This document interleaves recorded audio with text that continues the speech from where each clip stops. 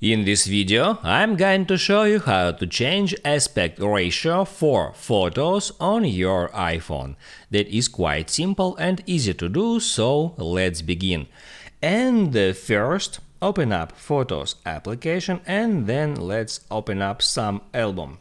Now here I can select any photo, so I'll just tap on photo and now here all I have to do is tap there at edit. Then here I can tap at crop icon and now here I can tap on auto to auto resize that image and also here I can tap on that icon to bring up these options of changing aspect ratio for that photo. So here I can switch between original, freeform, square.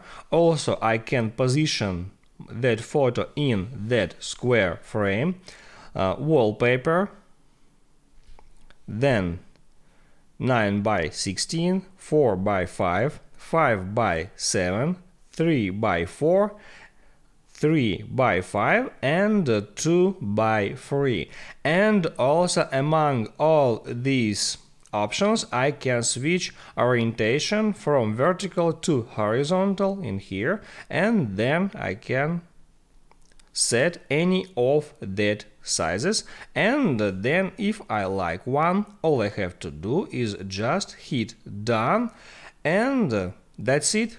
If this video helped you out don't forget to like and subscribe.